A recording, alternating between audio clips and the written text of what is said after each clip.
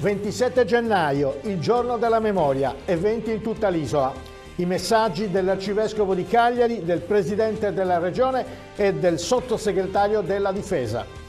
Il 2025 è l'anno d'uscita dal carbone. La consigliera regionale del Movimento 5 Stelle Desiree Manca interviene su tutte le problematiche connesse al cosiddetto phase out. Al via anche in Sardegna la sperimentazione degli anticorpi monoclonali. La Regione Sardegna ha autorizzato 11 centri, un ospedale per ciascuna azienda sanitaria, le due aziende ospedaliere universitarie e l'ospedale Brozzu. Per lo sport, la Torres espugna Fragola e domenica sfida la capolista Giuliano. La squadra di Alfonso Greco si è imposta sul campo della Fragolese con i gol di Diachité e Scotto. Ben ritrovati all'appuntamento con il nostro telegiornale. Oggi 27 gennaio è il giorno della memoria per non dimenticare. In occasione della giornata internazionale di commemorazione in memoria delle vittime dell'Olocausto che si celebra appunto oggi, l'arcivescovo di Cagliari, Monsignor Giuseppe Baturi, rivolge un pensiero ed una riflessione alle vittime di quell'orrore. Una domanda scrive nel suo messaggio l'arcivescovo Baturi che si fa tanto più pressante se la si riferisce a particolari e dolorose pagine di storia come quella dell'Olocausto. Oggi celebriamo il giorno della memoria per custodire ogni dolore e amore perché nessun volto venga dimenticato. Commemoriamo le vittime di quei crimini gravissimi e diamo onore a quanti si sono opposti, spesso a rischio della loro vita, alla follia omicida, offrendo aiuto ai perseguitati. E vediamo un servizio sul giorno della memoria con gli interventi del Presidente della Regione Cristian Solinas e la Sottosegretaria di Stato della Difesa Stefania Pucciarelli. Il servizio lo abbiamo realizzato con eh, l'apporto importante delle fotografie eh, di Auschwitz che sono state eh, realizzate da Roberto Puddu. Oggi, nel giorno della memoria, ha detto il presidente della regione Sardegna, Cristian Solinas, abbiamo il dovere di riflettere e di ricordare l'orrore e le atrocità di cui è stato capace l'uomo in un passato che non è poi così lontano da noi e trovare la forza e la determinazione per far sì che il seme insidioso e aberrante dell'antisemitismo e dell'odio non trovi mai più terreno dove attecchire offenderemmo la memoria di tutti quegli innocenti portati alla morte, bambini, donne, uomini, anziani, se consentissimo al presente di mettere da parte il passato. Quella odierna deve essere una giornata di profonda riflessione che ci impegna non solo a tramandare la memoria della Shoah, ma anche a riflettere sulle sue radici e sulle sue terribili conseguenze. Rivolgendosi ai giovani sardi, il presidente della regione ha sottolineato l'urgenza di costruire ponti contro la violenza e sulla necessità, sempre viva e impellente, di alimentare la cultura del dialogo e la pace. Sul giorno della memoria è intervenuta anche Stefania Pucciarelli, sottosegretario di Stato della Difesa. Il nostro dovere della memoria, ha detto, deve tradursi in un risoluto impegno di tutti e ciascuno per superare le forme di isolamento, intolleranza, esclusione sociale, discriminazioni, persecuzioni e violenze di cui continuano a essere vittime milioni di persone a causa di guerre, ciechi estremismi, assurdi fanatismi, ma anche di apparentemente banali pregiudizialità, una responsabilità da onorare con deliberata convinzione, ha aggiunto, imperniata saldamente sulla lezione universale di strazianti sofferenze, da mai dimenticare e replicare, facendosi promotori per una nuova era di pacifica convivenza e prosperità diffusa tra tutti gli appartenenti alla specie umana, senza distinzione di sesso, provenienza, credo, costumi, tradizioni e orientamenti di qualsivoglia sorta, ha concluso Stefania Pucciarelli, nonché tra essa ed il meraviglioso universo di cui è parte. Anche se impossibilitate a programmare eventi in presenza a causa del procrastinarsi della situazione critica legata alla pandemia da coronavirus, l'amministrazione comunale di Carbonia celebra la giornata della memoria e commemora le vittime dell'olocausto con una serie di iniziative rivolte a tutta la cittadinanza. Su proposta dell'assessorato della cultura dalle 10 stamane sulla piattaforma streaming della società umanitaria eh, Sardegna, racconti di un viaggio dentro la memoria memoria è disponibile un documentario di 63 minuti che ha coinvolto ragazze e ragazzi sardi tra i 18 e i 25 anni, protagonisti dei viaggi nei luoghi chiave della Shoah che hanno dato la genesi ad un vero e proprio corso di formazione storica. Un'altra iniziativa gratuita, fortemente voluta dall'assessora della cultura Giorgia Meli, è prevista per domenica 30 gennaio alle ore 18.30 al Teatro Centrale, sempre a Carbonia, con l'organizzazione di uno spettacolo a cura dell'Associazione Culturale Teatrale Quinte Emotive. La performance si intitola Il processo ed è tratta liberamente dall'istruttoria, un dramma documentario scritto da Peter Weiss dopo aver assistito al processo di Francoforte sul Meno tenutosi dal dicembre 63 all'ottobre 65 sui crimini di guerra perpetrati dai tedeschi. Cambiamo pagina. Entro il 2025, come è noto ormai da tempo, la Sardegna dovrà abbandonare il carbone per la produzione di energia elettrica, un termine molto vicino che crea non pochi problemi per la continuità produttiva e l'approvvigionamento delle aziende isolane. Su queste problematiche è intervenuta oggi Desire Manca, consigliera regionale del Movimento 5 Stelle. Sentiamo cosa ha detto.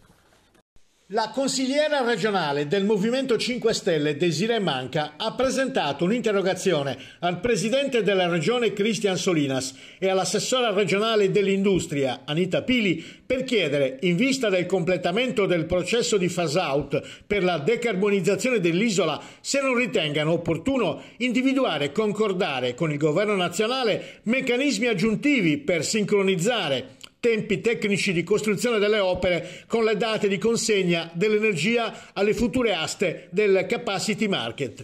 Il completamento del processo di phase out potrebbe avere pesanti ripercussioni sui lavoratori delle centrali termoelettriche della Sardegna, ha detto tra l'altro Desire Manca, come evidenziato dai segretari regionali di CGL Cisle Will le incertezze sulle prospettive delle centrali termoelettriche sono motivo di gravissima preoccupazione per il futuro occupazionale di tutti i lavoratori diretti e dell'indotto, così come per le prospettive dell'intero sistema produttivo isolano.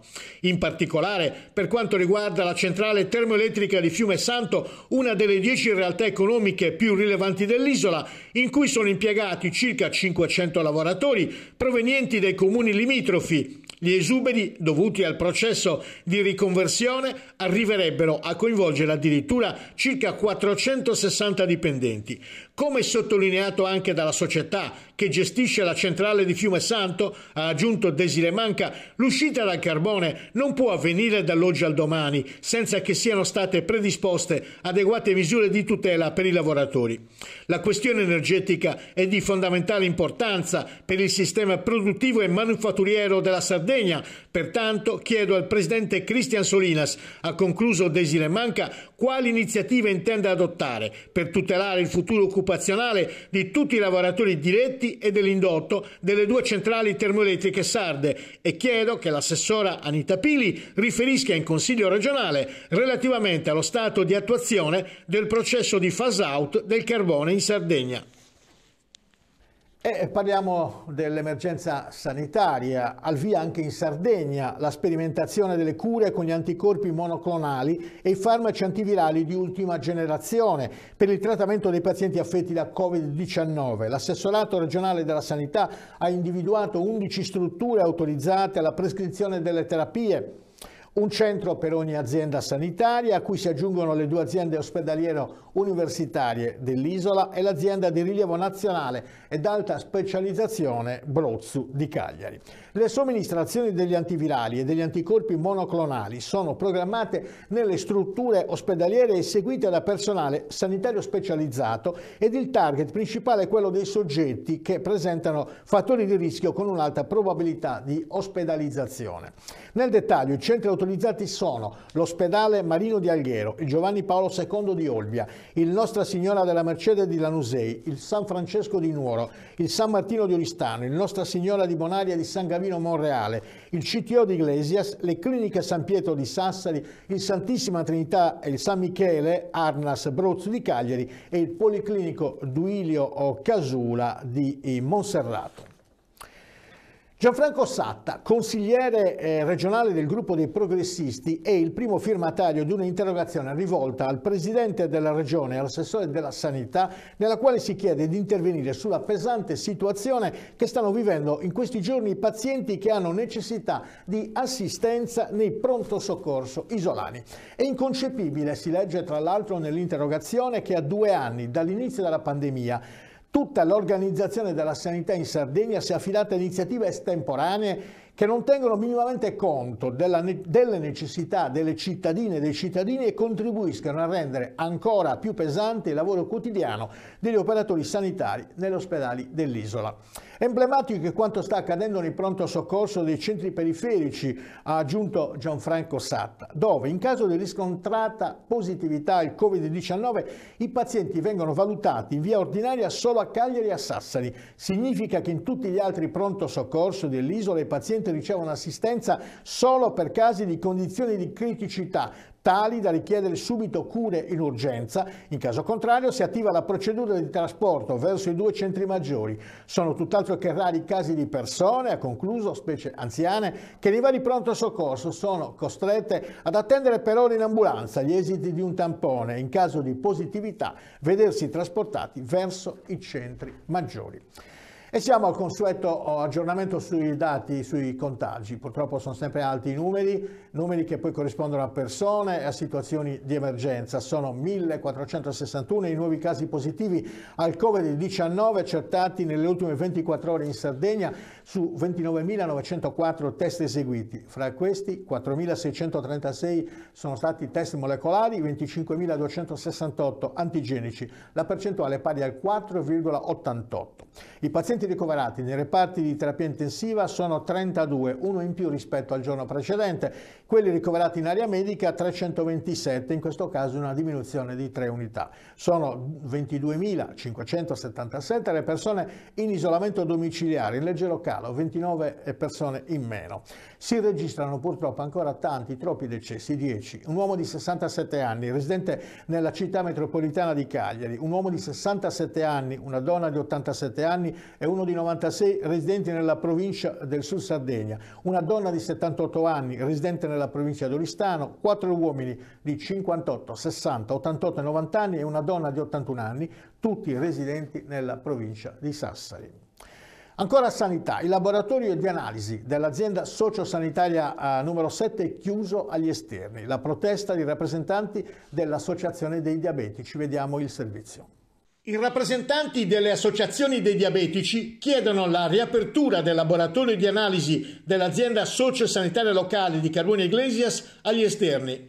Ci chiediamo, dice Fabio Sabeddu, presidente dell'associazione Diabete Sulci Iglesiente ETS-ODV, quale sia la logica che impedisce alla politica regionale di trovare soluzioni immediate che potrebbero momentaneamente consistere in un ordine di priorità nel richiamare in servizio i tecnici di laboratorio andati in pensione, nel potenziamento dell'organico del laboratorio o nell'aumento del budget dei laboratori privati convenzionati. Un territorio dove circa 10.000 persone risultano colpite dalla patologia diabetica e per le quali dunque il laboratorio di analisi rappresenta un presidio sanitario necessario per la diagnosi, il monitoraggio e la cura della malattia, aggiunge Riccardo Trentin, presidente della Federazione Sarda diabete ETS ODV, nessuna comunità e struttura ospedaliera può rimanere viva senza il supporto di un laboratorio di analisi efficiente e aperto anche agli esterni. Al di là delle soluzioni temporanee, la comunità del Sulci Iglesiente attende però e merita una risposta definitiva, conclude Riccardo Trentin, incardinata sul modello strutturato di una sanità che si qualifichi pubblica perché è capace di garantire sempre e per tutti il diritto alla salute dei cittadini. La Corte Costituzionale ha preso atto della decisione assunta dal Consiglio dei Ministri che rinuncia al ricorso intentato contro la Giunta regionale della Sardegna per illegittimità costituzionale dell'articolo 1 della legge regionale recante disposizioni in materia di enti locali. E così è venuto meno l'interesse da parte del governo nazionale di coltivare il ricorso in quanto ad oggi non esiste alcuna connessione causale tra la lesione dei principi costituzionali che si pensavano violati e la norma regionale stessa. La norma riguarda la possibilità da parte della Giunta Solinas di rimuovere i commissari o meglio gli amministratori straordinari in carica e poterli così sostituire.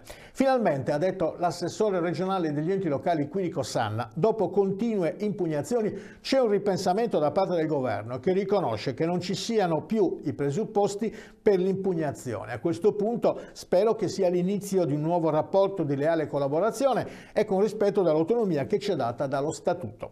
Chiaramente adesso prenderemo in, le, le, giuste misure per continuare sulla linea tracciata dalla Giunta Solinas al concluso qui di Cossanna. Speriamo che ci sia anche un ripensamento sulla riforma degli enti locali, per cui cerchiamo di tenere sempre saldo il contatto e le interlocuzioni che, nonostante le posizioni ancora negative, confidiamo nel dialogo e nel confronto per arrivare ad una soluzione positiva della questione relativa alla legge sugli enti locali.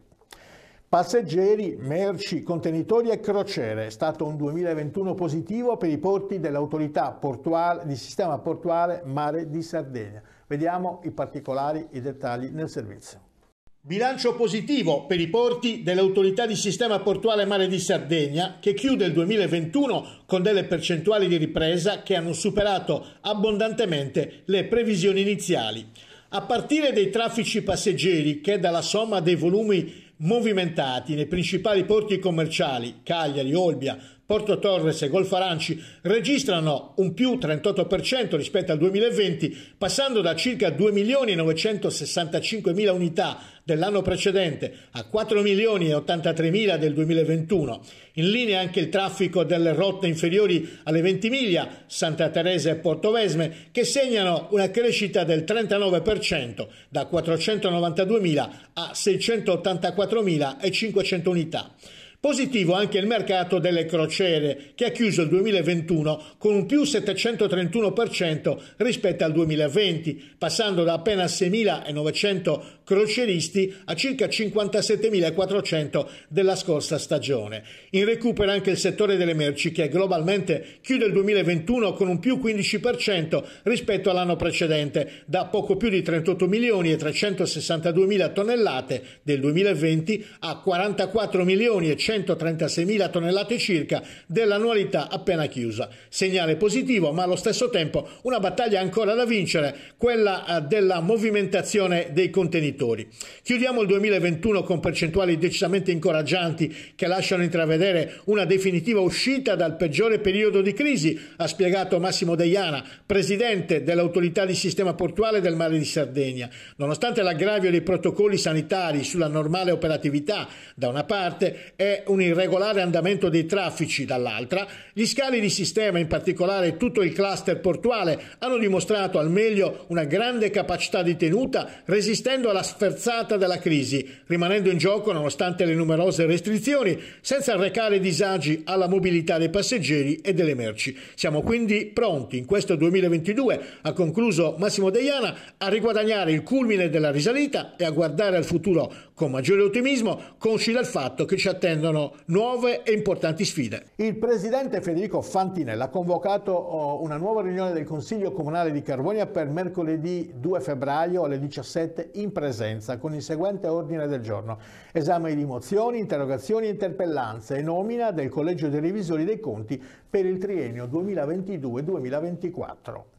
1 milione e 100 mila euro è la cifra messa in campo dal Comune di Pula per l'acquisto di alloggi da destinare all'edilizia residenziale. Il nostro intento, spiega la sindaca Carla Melau, è agevolare i giovani e le famiglie nell'acquisto della prima casa, offrendo loro la possibilità di concretizzare il loro desiderio di vita nella nostra cittadina. Il nostro progetto aggiunto permetterà ai giovani e alle famiglie di non dover rinunciare a vivere nella nostra comunità nella qua, ehm, quale talvolta i prezzi sono risultati troppo onerosi per le possibilità delle famiglie e delle giovani coppie. Una volta acquistate le abitazioni da parte del Comune di Pula, queste verranno messe a bando e coloro che possiedono i requisiti potranno usufruirne con prezzi agevolati. Coldiretti Nuoro gli Astra, sette anni per riconvertire le greggi alle razze autoctone, una sconfitta per la Sardegna. Vediamo perché nel servizio. Sette anni per allineare tutti gli allevamenti che vogliono destinare il loro latte alla produzione di pecorino romano alle razze di pecora sarda, compresa la subpopolazione nera di Arbus, razza vissana, razza sopravissana, razza comisana, razza massese e razza pecora della Miata. Questa è la decisione assunta il 12 gennaio scorso dall'Assemblea del Consorzio del Pecorino Romano DOP, alla quale hanno espresso la loro contrarietà sia la cooperativa Pastori Dorgali sia la cooperativa Armentizia Moderna di Cuspini. Deliberare sette anni per la riconversione delle greggi è un'eternità che non ha alcun fondamento scientifico, ha sottolineato il presidente di Coldiretti Nuoro Gliastra Leonardo Salis. Tra l'altro, con i tempi del Ministero gli anni si allungherebbero a nove. Non la vedo assolutamente come una vittoria, ma ah, piuttosto come una sconfitta per chi come noi e tutti i pastori che si erano schierati per la tolleranza zero alle razze diverse da quelle autoctone. Non siamo assolutamente contrari all'allevamento di pecore diverse da quelle autoctone, aggiungono i due presidenti delle cooperative di Dorgali e Guspini, Leonardo Salis e Roberto Tuveri, ma lo siamo per il loro utilizzo per la produzione del pecorino romano DOP, così come per tutte le altre DOP e i formaggi tradizionali, pecorini che come da tradizione appunto sono prodotti in Sardegna con latte proveniente da pecore di razza sarda allevate al pascolo. Attendiamo le motivazioni e i benefici che ne trarrà la filiera dalla decisione che hanno portato